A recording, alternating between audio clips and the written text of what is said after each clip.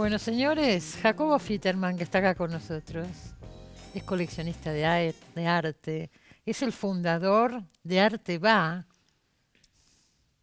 y ahora se le ocurrió, tuvo una buena idea, reinventarse, creo que dice en algún Así es. momento, y para festejar sus 89 años presentó este libro, también fotógrafo.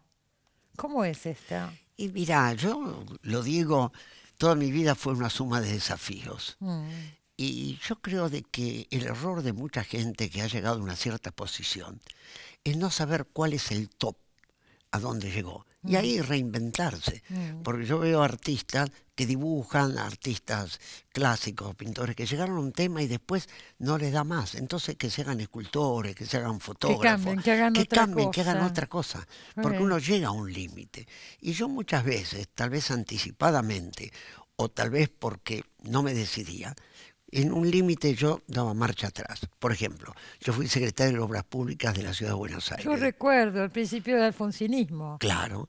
Yo podía haber seguido en política, pero cuando terminamos el 89 con Alfonsín y todo lo que pasó, dije, no, este es mi top.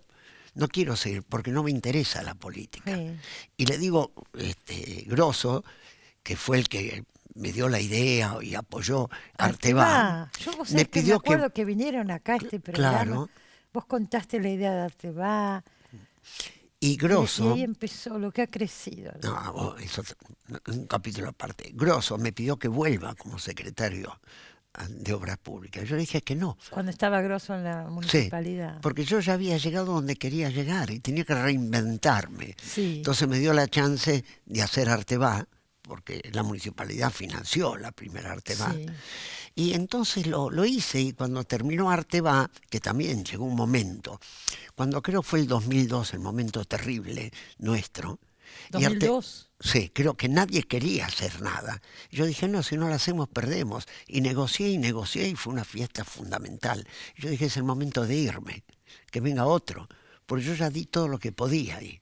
Y entonces seguí con mi Fundación Alón de las Artes, ¿Cómo no? en la cual hice libros que Yo consta. traje hoy, que venía Fito, Fitterman, dije, quiero, quiero traer estos libritos maravillosos que han editado en la Fundación Alón. ¿eh? Y todavía tengo uno de la El misma Dante serie. ilustrado por Alonso, este de Manuel Mujica Lainez, textos y dibujos.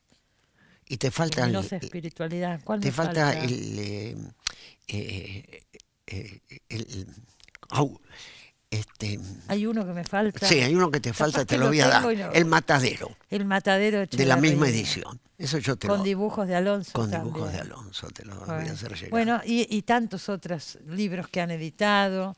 Y además, bueno, sos un gran coleccionista, ¿no es cierto? De Carlos Alonso y de muchos otros. sí, soy un artistas. coleccionista mediano, ¿no? ¿Mediano? Sí, ¿Cómo porque será el- los no, chicos? porque eh, digamos, yo colecciono lo que me gusta.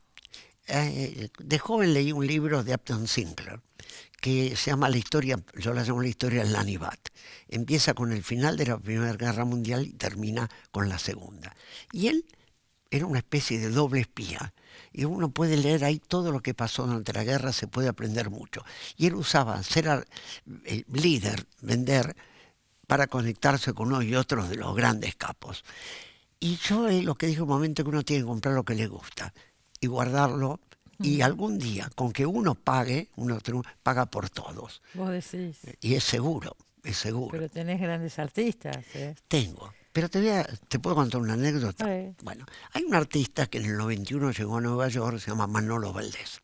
Es Manolo un Valdés gran artista, Es un gran artista. es un En gran ese- artista. En ese momento yo le presenté a un amigo, un buen amigo, que le compró un cuadro muy importante por 60 mil dólares.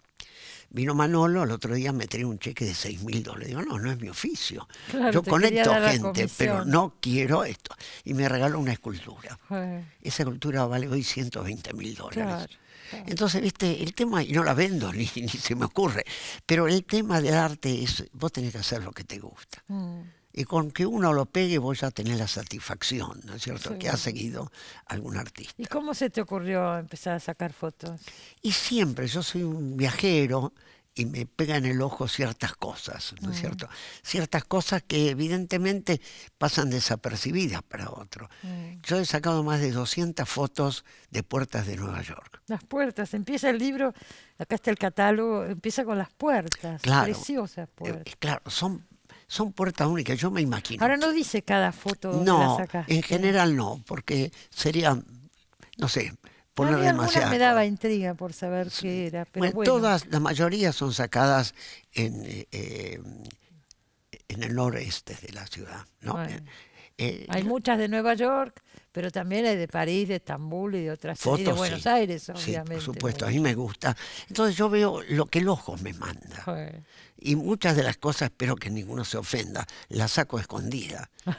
Ahí hay una foto muy linda que saqué a una novia hablando con el novio en Istambul, una sonrisa perfecta estaba Y no ahí. pedís permiso, vas y No, no, porque si pido permiso se pierde el seguro encanto. que se pierde todo. ¿No es cierto? Sí. Y, y bueno, me ha gustado, y viste, existe Instagram, Mm. y muchos me han dicho que les gustan mis fotos. Y dije, ¿cómo festejo mis 89? Hace mucho que no veo a la gente, yo a la tarde llego bastante cansado, no voy a tantas muestras. Entonces dije, bueno, Cecilia de Caballero se aceptó. eh, no te- es un mes donde, digamos, lo pone a mi disposición. Bueno, Me- me- la galería, ¿dónde queda? Decirlo para que Montevideo verlo. 1720. Montevideo 1720 y hasta cuándo está Del- hasta el exposición? 25 de enero. Bueno, hay Y tiempo, ¿eh? sí, Vaya a verlas las De fotos, 3 de enero al. De, perdón, de 3 de la tarde a 7. está. Perfecto, ahí Y- las tenemos. Y bueno, ahí está. Y ahí están, y te felicito. Y esta idea de reinventarse me parece Ya hay ciertas cosas. Sí. Ya. Es decir, siempre he sabido retirarme a tiempo. Bien, es un gran mérito, ¿eh? Sí. es, un, es un gran mérito.